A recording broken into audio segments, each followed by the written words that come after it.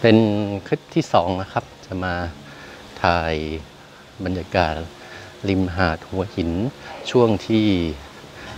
บ่ายๆ เสียงนะครับ ไปดูกันนะครับว่าริมหาดหัวหินเป็นอย่างไรรายการ เอกพากินและเที่ยว ถ้าถูกใจก็ช่วยกดไลค์กดแชร์ให้หน่อยนะครับ ขอบคุณครับ ก็มีลมนะครับ ตอนนี้น้ำก็เริ่มลงแล้วประมาณบ่ายโมงกว่าเกือบบ่ายสอง แต่ว่าฟ้ามันไม่ใส เพราะว่ามันมีพวกควันพิษนะฮะเขาคงมีเผา มีอะไรกันพอสมควร ฟ้ามันไม่ค่อยใสเท่าไหร่ทะเลอาจจะเอียงหน่อยนะฮะ ก็ไม่เป็นไรนะ สมัครเล่นนะถ่ายให้ดูเฉยๆ ใช้กันสั่นนะครับ แล้วมันยังตั้งไม่ค่อยดีแต่ว่าเอาแค่บรรยากาศแล้วกัน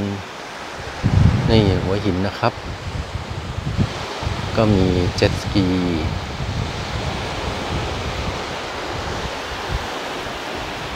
มาถ่ายช่วงเนี้ยเพราะว่าคนก็ยังไม่ค่อยลงมากันครับเขากลัวแดดกันหมด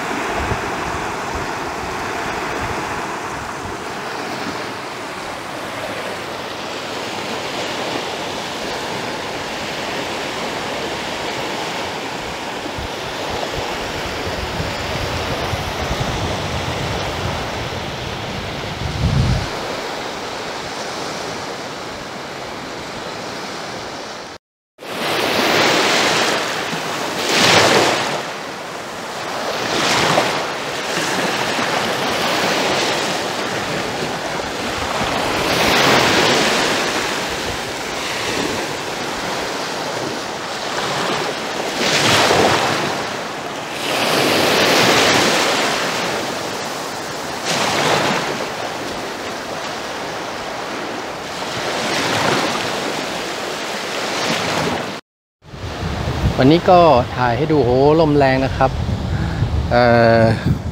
ลมแรงเลยแหละวันที่28 นะครับเนี่ยมีคนเล่นไคบอร์ดได้เลยนะฮะแต่ว่าอากาศไม่ใสนะมีมลภาวะ เป็น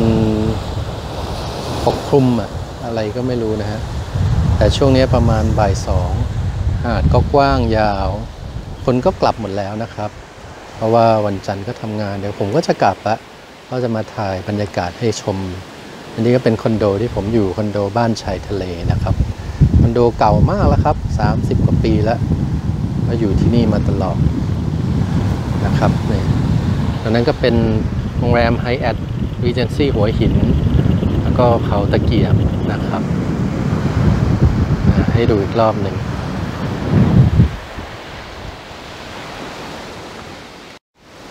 ก็ไปแล้วนะครับ ฝากกดไลค์กดแชร์ รายการเอกพากินและเที่ยวด้วยนะฮะคืนนี้เป็นวันที่ 3 พามาชมบรรยากาศ หาดทรายนะครับ หาดดีแหละตอนนี้นะครับ ธรรมชาติดีวันนี้ไม่มีคนคนก็กลับกรุงเทพกันหมดแล้วนะครับเนี่ยถ้าผมหมุนไปหน้าผากก็จะกว้างขึ้นมานะครับอ่ามีเจ็ตสกีอยู่แถวนี้นะครับประมาณนี้ ปู ก็เต็มเลยครับ